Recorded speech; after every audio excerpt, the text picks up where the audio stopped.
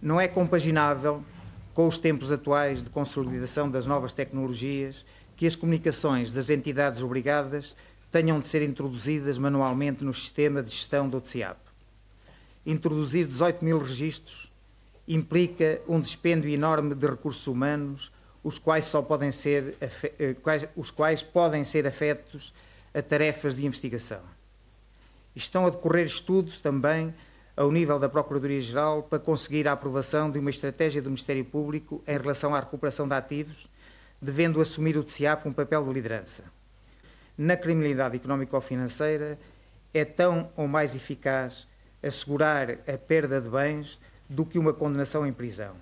Por isso, é uma prioridade dinamizar e concretizar a recuperação de ativos, sendo este objetivo já está em fase adiantada de concretização.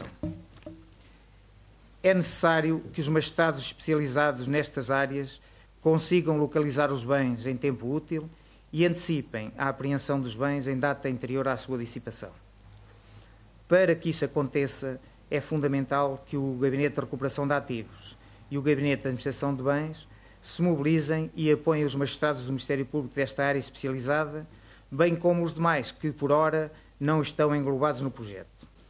Ao mesmo tempo, é fundamental que seja encontrada uma estratégia que permita compatibilizar a celeridade dos inquéritos mais recentes e prioritários com a elaboração de espaço final nos inquéritos mais antigos é necessário enunciar as razões determinantes dos atrasos em cada um dos inquéritos, por forma a poder ultrapassar as dificuldades, nomeadamente através de uma atuação pragmática e decisiva do diretor do TCIAP.